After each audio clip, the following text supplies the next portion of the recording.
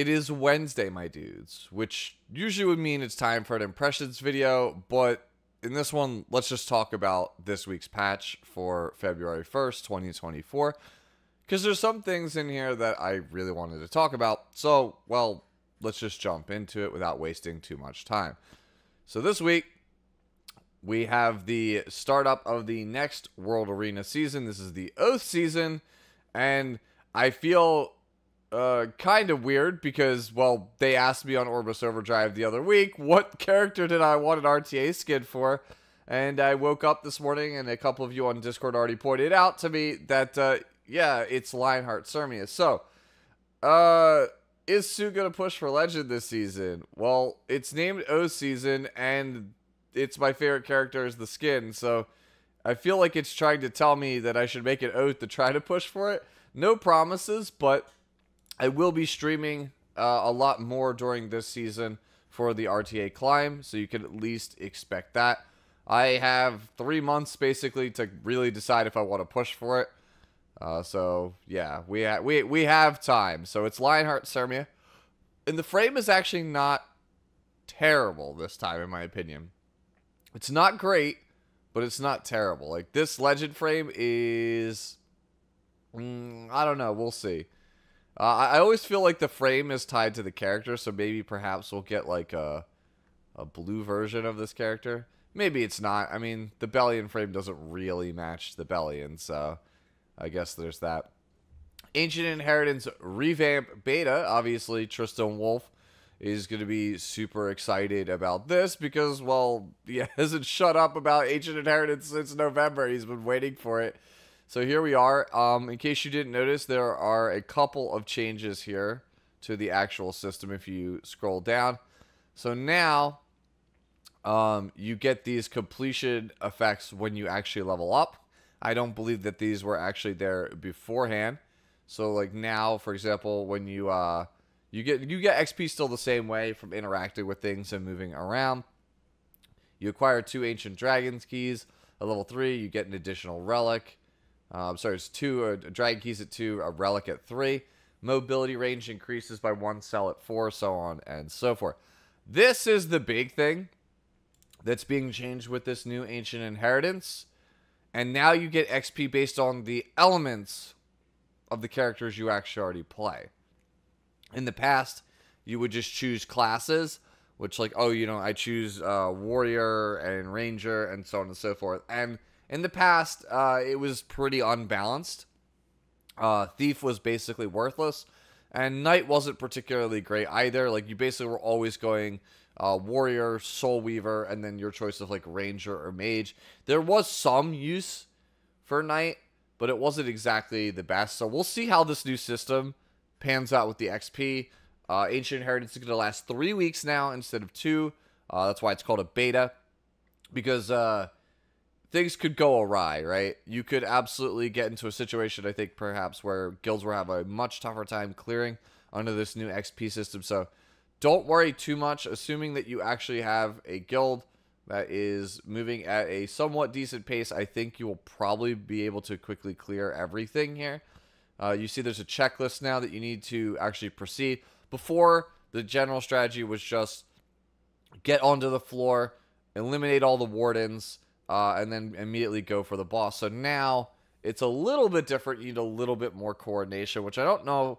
This this sounds good on paper, but from my experience uh, from with my guild uh, in the past, it seems like not everyone's always on the same page, and the more organization you need, the worse it's going to end up being.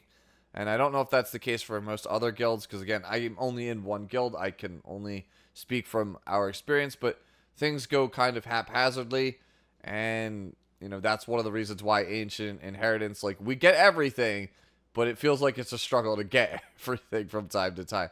So i worry about how other newer guilds uh, or guilds with less people than mine will end up faring with the new system. Uh, this thing here by the way still hasn't changed.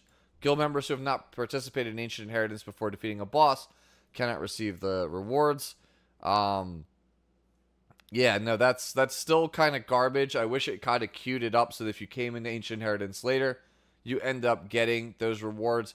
it's still really rough where there might be a chest near the spawn on floor one and the morning of Ancient Inheritance going up, somebody grabs that chest. Well, that stuff is all lost to anyone who hasn't logged in on day one and actually started their participation.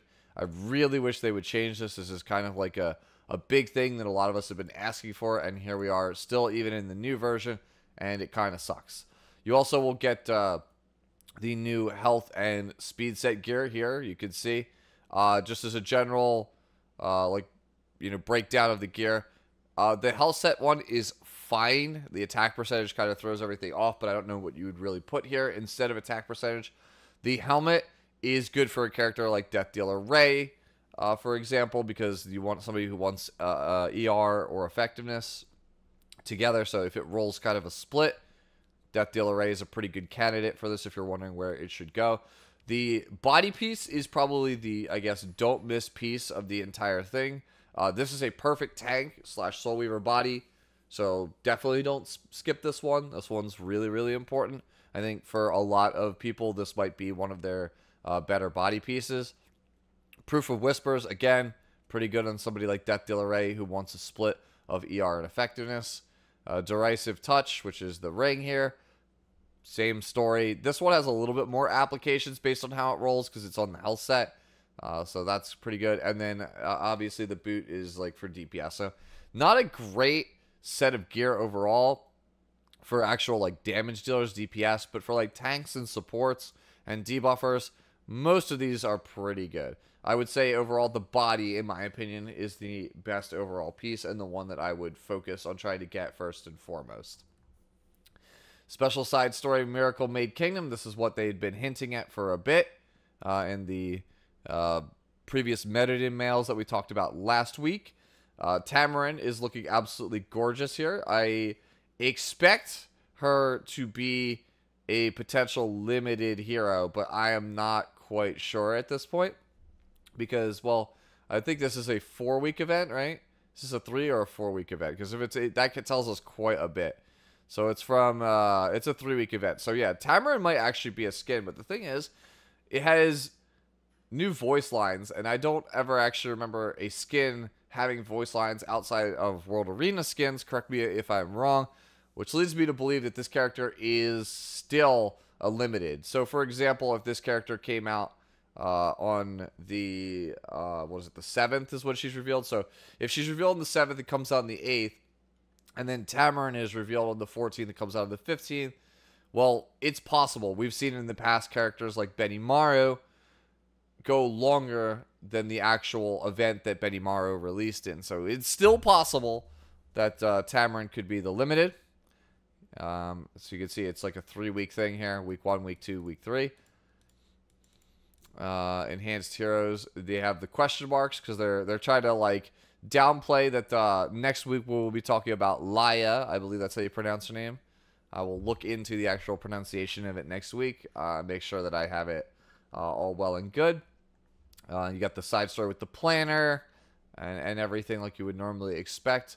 You get uh, the microphone here from Tamarinne, and they listened finally. They make these things 88. Just please keep making every piece of gear uh, 88 or 90 going forward, please, Smilegate. Uh, again, this is very similar to what I said about Death Dealer Ray. Uh, this is actually, now that I think about it, this is actually good for Tamarinne. Now that I think about it, Sweet Sweet Music Mike, this thing is really, really good for Tamarinne because right now, where most people play Tamarinne is a nightmare raid, and she needs high ER and effectiveness and health and speed. So this is actually like tailor made for this character for nightmare raid. So I guess good on them. Next, we come to expedition improvements. This is actually one of the biggest things, if not the biggest thing, that I wanted to highlight here in the patch updates, right? So if you look here, you can see that you have the current column and the expected column. In the current column, right now, what we have for expedition is 18 stamina, right? And then over here we have for expected, it's going to cost 30 stamina for running this right here, the expedition after the update. Now, there's a couple of trade-offs for this. In the past, you got 80 to 60 points here, or should I, guess I should say 60 to 80 based on private recruitment or open recruitment to fill up the expedition depot ladder. This is obviously the thing that gets you your reforged materials. You get you your Molagoras if you have the premium, uh, your gold transmit stones, the blue boxes, things of that nature. The stuff that you're running Expedition for, in addition to getting mod gems uh, and other things of that nature, right? Reforged materials. So yeah, you fill up the ladder quicker. But then when you scroll down here, right, we're going to move past the UI improvements. Yes, this makes it easier to list everything and send out friend invites. That's a great change. That was all discussed in Meta in Mail last week. Again, if you look here at the rewards for Expo, it gets a little concerning, right? So in the past, for your 18 stamina, you got 5 Reforged mats on a clear. Now for your 30, you get 9. This is actually an improvement but it's only like a very small improvement. Before it was like on average 0.28 or so uh, reforged materials, I believe, per one stamina spent. Now it is 0.3 reforged materials per stamina spent. And considering, well, it's not as easy to spam. You got almost two expeditions for the price of one in the past. Yes, sure, you get more re, uh, reforged materials with the old the uh, the newer system, but it's not that much. But now, if you take a look at the Expedition Hunt Clear modification gems, you get one lesser and one greater, or I should say, one lesser or one greater for clearing a level three for the cost of 18. Now, for the cost of 30, you get either two lessers, which, if you haven't noticed, those are basically worthless to any endgame player but you only get one greater modification gem for 30 spent. You get almost the same rate, I guess, for this. Like, you get basically almost your two for one to make up for the fact that it's almost twice as expensive. But greater modification gems is actually a loss. It's actually harder to farm modification gems under the new system. So that sucks, especially when you consider that you have to go through a whole hoopla of RNG to get the correct set, to get the correct substat, and then it's not even a guaranteed stat increase. So this actually, in my book, is pretty garbage. And they should really evaluate this and change this to 3x and 2x. Like this really shouldn't be 2x and 1x in my opinion. And then when you look at the expedition failed rewards, before you got 2700 gold. If for some reason, let's say you started it, you sent out the friend invites, and nobody cleared it, you got 27k gold. And that was actually a proper strategy for some people is to just list everything, yeet it into the wind with your friends, and if they don't clear it, fine, at least collect your 27k gold and your two reforge materials.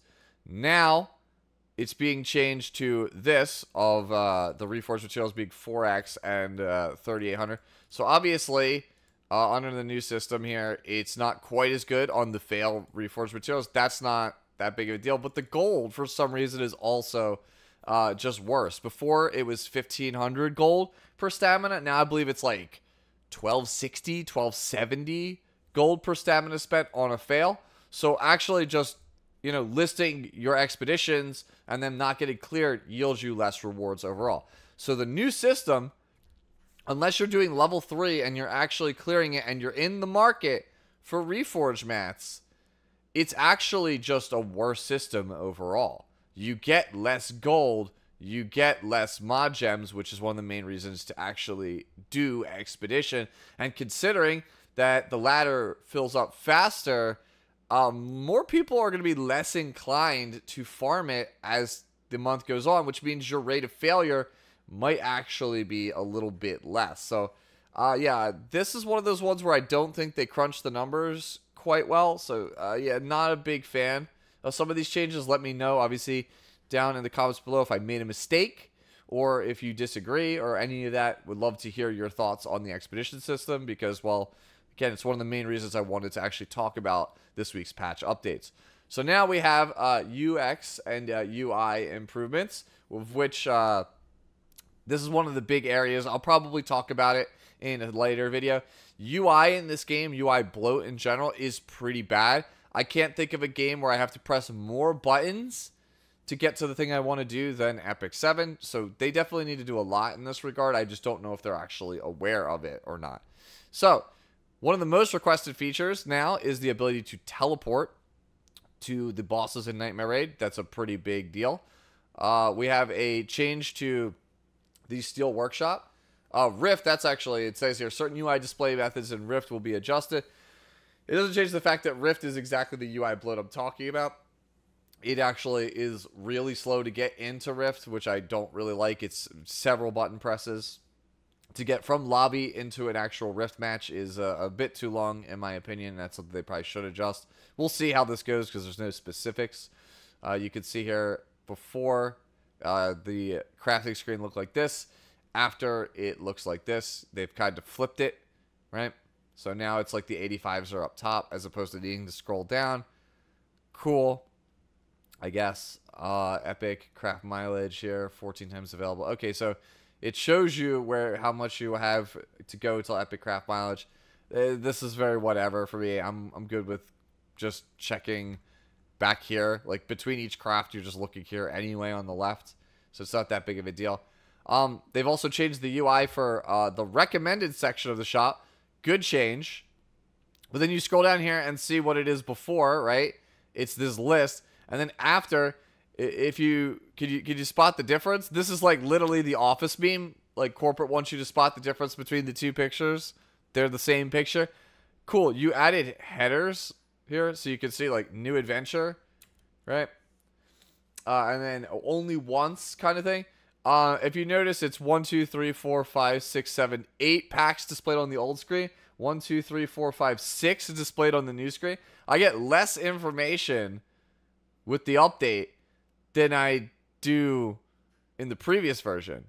This is exactly what I'm talking about. Like, it is, it takes too many button presses and they just obfuscate things for no reason. So, I'm sure this sounds really good on paper, like to tell you kind of what you're getting in the pack, but like, if I'm spending my hard earned money anyway, I'm going to read the details of the pack and I'm going to look at the price. Like, I'm going to check each of the items anyway I don't need you to tell me, like, oh, these are packs for new players. Again, if I'm spending real money, I'm reading the contents of everything anyways, and I will make an informed decision as a consumer. So uh, that that's kind of a waste. Um, new artifact here coming, and it's apparently tied to the web event. So please, if you're like me and you forget your web events, don't forget this one, especially if you're an artifact collector, because, well, you'll never be able to finish the artifact journal if you actually miss the thing. It's just another friendship uh, increasing actual artifact, which means it's pretty good for farming unrecorded history. If you're trying to get some AP, you can just slap it on a character, uh, level up your character's friendship a bit, get some Molagoras back, get some skill levels. We have a million of these things, but still happy to see yet another one so you could kind of uh, get more of these, right? Moving into the banners now, we have Tamarinne. Don't roll for Tamarinne or Chloe here. Yes, Tamarinne, obviously one of the best pickups for a new player. If you don't have Tamarinne, you definitely want to get Tamarinne. But the thing is, Tamarinne, her banner is available anytime through the side story summon. You can pick it up anytime you need it. And, well, next week is probably Laya, who's probably a limited unit, in case you don't know. And to kind of further hammer the point home that she's probably a limited, Hoochie's pop up shop is also available after maintenance here with all these rewards. And if you're newer to Epic 7, well, Hoochie's pop up shop being open is usually a pretty good indication that some kind of limited character is coming soon. Basically, this is a way for them to get you to spend what resources you're saving so that, that way when a limited comes out, you don't have any resources for it. So Tamarinne here, uh, even though she's in the side story and you know really great character, really strong character for newer players, don't roll for her. You can get her anytime through the story. Someone you want to be saving for whatever the limited unit is, especially if it's a limited Tamarinne that is uh, anything akin to the power level of the regular Tamarinne. So yeah, neither of these banners really worth it. Uh, Coin Shop renewal here at the bottom. Uh, just as another like bone to pick with Smilegate and Super Creative on the state of this stuff. Uh, this actually is a system that really needs a refresh. Like having three covenants and three MLs per month this does not cut it anymore in my book. After playing other games like Goddess of Victory Nikke, where it's seven characters and it rotates weekly, it makes you start to question why do I only see three characters per shop on a monthly basis? Like, it makes no sense. So a lot of people I know, myself included, are sitting on a lot of Galaxy coins and you can't really spend them. They just wait for almost an entire year for something they could actually use, which, again, it just generates a very negative sentiment uh, about this system. So I would like to see a refresh in it. Yeah, I guess it doesn't really make. Uh, there's not too much incentive for you to do it, but it still would be nice to think about that maybe we would get it. Uh, we have a Year of the Dragon Celebration pet pack, which that plus the pet adoption ticket pack and the pet skill custom pack. Uh, yeah, I'm not a big fan of this. Like, pets have always been, in my opinion, like one of the worst features ever added to E7, and none of this really does anything for me. I guess if you're somebody who is a pet collector, you're gonna have to end up buying the Year of the Dragon Celebration pet pack. Otherwise, you're not gonna have full journal completion because you'll have missed out on that dragon. Uh, pet skill selection chest that's cool. This is a great item. It fixes one of the biggest problems with pet skills, but like it's tied to a paid pack, so why couldn't this have been something we earned from like side stories or expeditions or something? This would have been great. This fixes a lot of uh, people's uh, discontent towards the system, and it's locked behind a paywall. So, not happy to see this. Not happy to see it behind a paywall, but it is what it is, right? monthly cattle selection pack, blah, blah, blah. Uh, here we go, actually. This is another thing I'm pretty excited about. So we're getting new music added to the music player in the form of the Ancient Inheritance stuff. This is the stuff you probably already heard a million times at this point if you were a veteran. But this stuff here, sweet start to the day, together sweets and music, getting closer bit by bit. These things are added during the Miracle Maid Kingdom side story. And in case you haven't noticed, uh, the episode 5 soundtrack is actually good in Epic 7. I would say Epic 7 out of any gacha game currently that is still being played on the market, right, has the worst soundtrack. There, I said it. I think that Epic 7's OST is not particularly very good. Episode 5 soundtrack, I think, is solid. I would hesitate to call it good if you play, again, Goddess of Victory Nikke or you play like Arknights. It's not even close. Even Honkai Star Rail, music just absolutely trashes E7's OST. So I'm excited to see this because this is a music themed event and I'm hoping that they went pretty hard on these tracks. I'm really hoping to hear something that I wouldn't mind throwing in regular rotation in my playlist from when I'm just casually listening to music because very few songs I feel like in E7 make that list. Some of you have commented on my how to play videos about how I use Bloody Five Senses, which is Senya's boss theme uh, from episode three. That's one of the few good tracks you could find it in like Death Dealer Ray's skill overview section. That's one of the few really good tracks in the game. But a lot of times when I'm looking for music for a video, there's a lot of misses in the E7's OST, and I'm hoping that these are actually hits. Uh, match history has been moved in uh, World Arena down to here, uh, right? So that is really good uh, especially because, well, yeah, it's one of the most important features of World Arena, so you can look at what you did wrong in your drafts. So happy to see that. Uh, tooltip being added here, so you can see what the obtainable main stats are for gear. Cool. This would have been great to know like ages ago. We're here here in year five. Uh, this should have been here.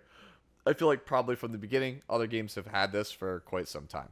And that's going to do it for the February 1st update. What are you most looking forward to? Let me know down in the comments below. I'm really hoping that Miracle Maid Kingdom delivers. We really need some kind of PvE content to hit. And again, like I said, I'm super excited for the music. Uh, and hopefully, by bringing some attention to some of the things in this video, we can get a couple things like maybe the expedition stuff changed and the UI later on in the future. If you want to see me do a video detailing what I think specifically is wrong with the UI, again, let me know all that stuff down in those comments sections. As always, enjoy the rest of your day, the rest of your week, and I'll catch you in the next one. Have a good one now.